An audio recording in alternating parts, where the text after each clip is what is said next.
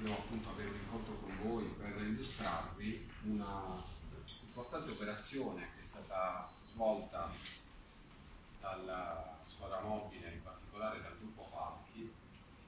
proprio nell'ambito del contrasto delle fenomenologie delittuose, in particolar modo commesso con l'uso di armi. Infatti in questo,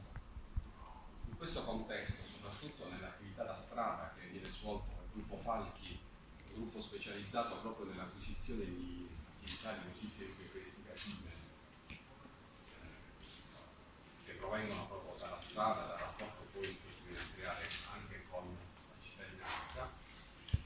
abbiamo acquisito delle, degli elementi info-investigativi che nella casa di un soggetto ci poteva essere, potevamo avere la disponibilità di armi. A seguito di questa, seguito di questa notizia, primo ottobre, la sera, siamo andati e abbiamo fatto una perquisizione, un controllo. Eh, grazie proprio anche all'intuito investigativo eh, abbiamo visto che nella casa del soggetto, dove non c'era nessun elemento particolare, però abbiamo trovato sia un, man- un mangime per cani, un mangime, un cibo per cani e soprattutto anche abbiamo trovato eh, delle chiavi.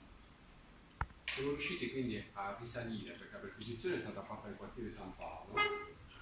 a un box nella disponibilità del, del soggetto.